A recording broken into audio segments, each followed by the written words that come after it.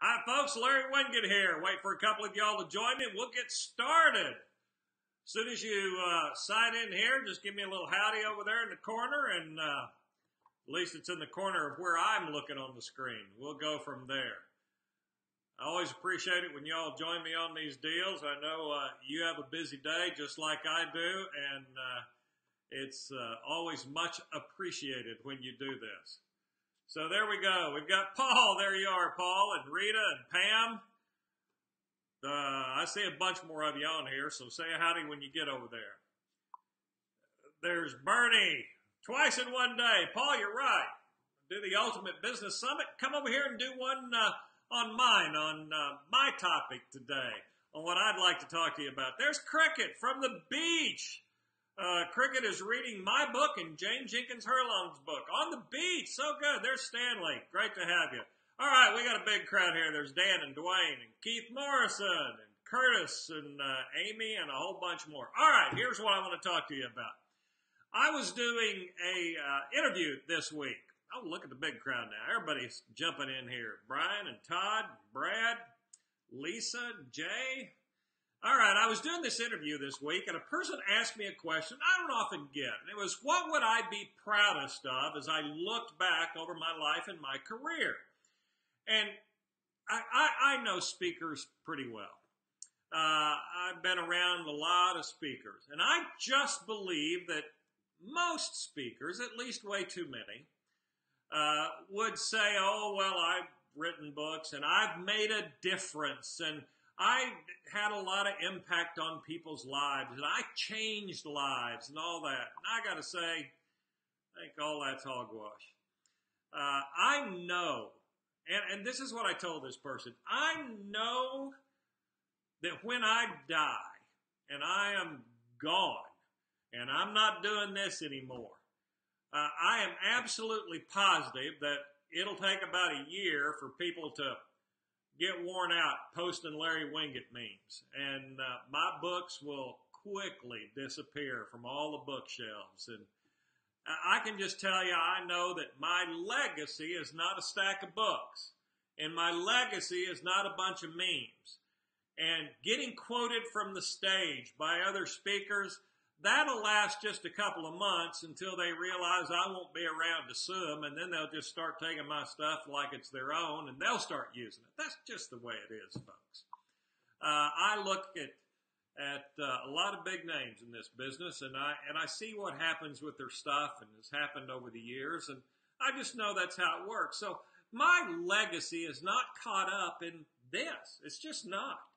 I'm absolutely positive I, I don't change lives. And, and I've told you before that when people write me emails and say, Larry, you changed my life, I write every single one of those people back and say, I did not change your life. You changed your life. You did the work. All I did was possibly remind you that you could and give you a couple of tools so you could. That's it. So I don't have any grand schemes about uh, how I'm going to make such a big difference in the world. When I look at uh, Tina and Hiroko and Eric and Jeremiah, Steve, thank you for being here. There's Kirk. You're wrong. Your books will live on. Yeah, they'll be on shelves somewhere. They'll be on somebody's. Uh, uh, you know, maybe you'll pass it on to your kids, but nah, it's not how it works. It's just not. Uh, books live on for about that long, and then new books come along and take their place. Creative borrowing, Keith says. Yeah, it's creative as long as you don't get caught. And then it's stealing. Um, here's what, and there's Alistair. He says, Your legacy, the lessons, you taught common sense ownership, doing the right thing. Yeah, you're right. I hope so. And Brandon, Chaz, and uh, here, here's the deal, folks. When this person asked me my legacy, I went through what I just did with you. But I have no delusions about my impact on the world or my impact through my books or my stuff, and I don't even care. This has been a real honor for me to be able to share my opinions and all this, but my legacy, I have two sons. I have two grown sons. I've taught them well. Um, they have between them three sons. And those two sons are teaching those three sons well. When I look at my legacy, the only thing that lives on is what I have done through my family, my boys, my grandsons. That's why I value so much the opportunity I have to spend time with my grandsons. So they kind of get to sit on Pop's knee and listen to Pop pontificate about what he thinks is right and wrong and values and core values and standing up for yourself and how to grow a pair and how to be honest and do the right thing and treat people right and keep your word. And I make them do all those things. I just, I won't tolerate anything else. But I did that with my own sons, and that's why they are the men they are today. And so I, I guess my challenge for all of you is to look at what you want to be known for. What will be your legacy? Uh, why do you care about all these things that we get so caught up in? All the details. I posted a meme today about, you know, one of the keys to true happiness. In fact, it may be the key to true happiness is the ability to ignore the stupidity and the noise that surrounds it. My wife came to me when she saw me post that this morning, and she said the words that she liked were the noise that surrounds it. There's so much noise going on in the world. This is part of the noise. Social media, the crap we watch on television, the the the minutia of things that that people believe really matter. They don't matter. What matters is the big stuff. How you raising your kids, how you treating people. That's the big. That's the stuff that lives on. Uh, Sandy says uh, we talked about this the other day. Enjoyed your response, which is mine too. Peter Wink gives me a thumbs up. Uh, Paul Rosser said, You'll be too busy watching Elvis nightly in heaven, drinking the best bourbon to care. There you go, eating fried peanut butter and banana sandwiches, which is, they're actually really good. I had an Elvis party one time, and that's what I served. Uh, Jerry says, Hey, Larry just landed in Albany. Another great American flight. I bet it was, Jerry. Uh, Eric says, Monday morning with the man, Larry. I appreciate that. Steve, hi from Alberta. A lot of thumbs up there. Diane, uh, excuse me, Steve. Uh, Pam, thank you so much. Uh, you'll be a great part of the future, says Keith, raising good citizens who do the right thing even when people aren't watching. And that's integrity. That's what it really means. So this is going to be a short one today. I just think that we all get so caught up in some of the stuff that is never going to matter. The stuff that does matter, matter is what you leave behind through your children because they go on and they are your legacy. Uh, I, I posted a picture of my two sons uh, yesterday. I'm incredibly proud of them because my sons learned what honesty and integrity and doing the right thing, and they understood that there were consequences when they didn't, and uh, they understand that consequences drive behavior. I taught them that. And that's what I value the most of everything that I've done in this world. The biggest contribution I've made uh, are two sons and the impact they're going to have on their sons, and the impact those sons will then have on their sons. That's the only difference, folks, that we make. That's it.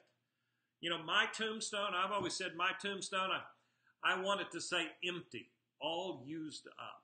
I, I don't care about much else. I'm going to live my life to the very fullest. I, I, don't, I know what I leave behind quickly vanishes into dust. And, and, and this is not one of those morbid things. It's really the, it's an, I, am stating this as an opportunity for everybody to stop and reevaluate and get your priorities right and know what really matters. And what really matters is not all the crap and the stupidity and the drama and the noise, as I talked about earlier, the noise that surrounds all of that. What really matters are the conversations that you have with the people you love and who are close to you and the people who you might have some small impact on. Those are the things that matter.